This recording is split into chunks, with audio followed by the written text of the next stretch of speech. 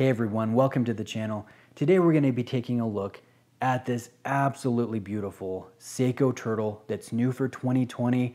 This is reference SRPE07 and I'm borrowing this from my good friend Robert of the Random Rob channel. And it's really cool because Robert generally dislikes turtles and he will gut them, take their dials, take their components, and mod Seiko SKXs with them. So I think it's uh, I think it's pretty cool that this one has survived Robert's ownership and he's passed it along to me to present and to spend you know a week or so with and for that I'm really appreciative. So this is a gorgeous piece and it's easy to see why Robert hasn't killed this one yet. Uh, when I first saw pictures of it, stock pictures, when Seiko announced it, I thought, uh, wow, another version carrying this dial. I thought it was a little bit lazy when it comes to the design. They're just using up old stock. I guess it's a good business practice, but as a consumer, I wanted something more.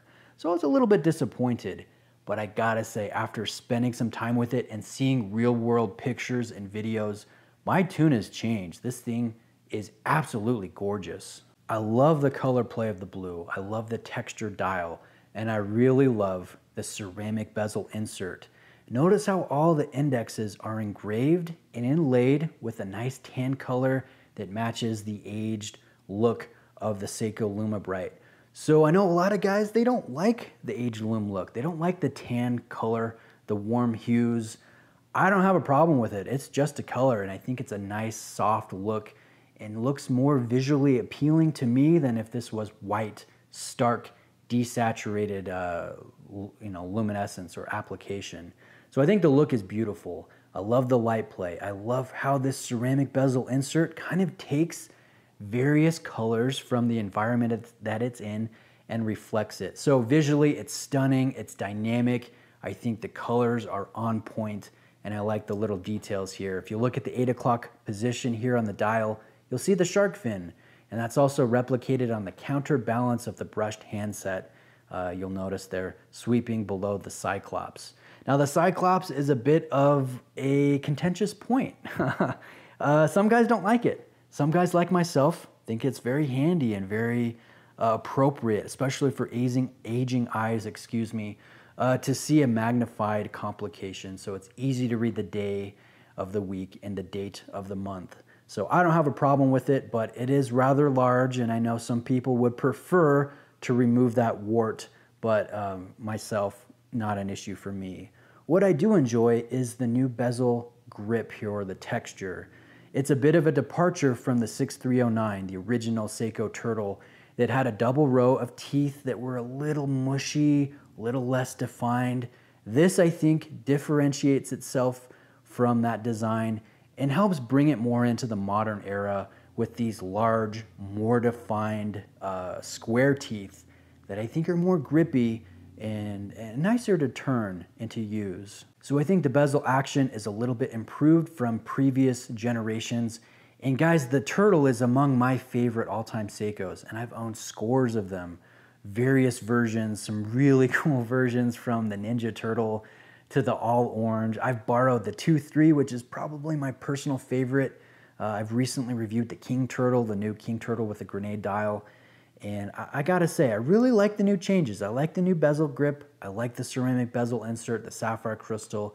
And again, this color version is, oh, it's just beautiful. It's stunning. It's on point.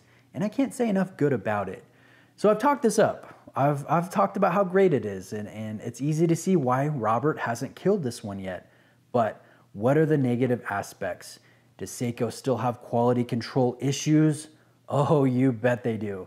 And because I'm borrowing this from my good friend who I know is not a snowflake, is not gonna get offended if I talk a little harshly here, this one has some pretty bad quality control issues. If you look at the alignment, it's off by about a millimeter. It is, uh, it, it's pretty bad. uh, I would say unacceptable for my, uh, my preferences.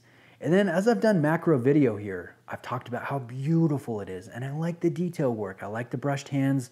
I like that frosty printing on top of the metal appliques where you guys can see a little bit of reflectance and like, know, what would I call it? Diamond dust when it comes uh, to underneath the LumiBrite printing. There's some really nice things going on, but there's also an unacceptable amount of particulates, dust. And below the six o'clock marker, above the Japan text, you guys will see a nasty fiber, a curly fiber there. So, quality control, this one, uh, someone was taking a nap when the quality control happened because uh, it, it's, it's, a, it's kind of bad here on this one. And I've noticed that global versions, for whatever reason, generally have more quality control issues. In Japanese domestic market versions, again, for whatever reason, generally have less quality control issues. So if you're drawn to this turtle, I would say um, buy what you want. If you want to save some more money, I would go with the global version. You can get better discounts. You can get a great price, new from an authorized dealer. And I will leave my recommendation here in the comment section for a trusted AD that I like here in California that will give you a 20% off. But at the same time, you're going to be playing that roulette wheel when it comes to quality control. Now, I'm also going to give a recommendation for the Japanese domestic market version, which will have the kanji secondary day wheel that will have made in Japan on the dial as opposed to movement Japan and generally will always have a good alignment or a very close alignment when it comes to the bezel, the chapter ring, and the dial. And that's japanonlinestore.com. Definitely you're gonna pay premium. There's no way around that. You're gonna be paying more. But uh, if some of these issues are unlivable, I would recommend going that route. So there's two recommendations in the comment section for whichever flavor you would prefer. I like this new turtle. I think it's a beautiful addition. It's so much nicer in picture, or sorry, in video than it is in stock pictures. And so I would say this is definitely a worthy addition to the lineup. And I'm, I'm happy with the direction that Seiko's moving. Going with sapphire, going with ceramic, and going with beautiful color combinations in this special edition version.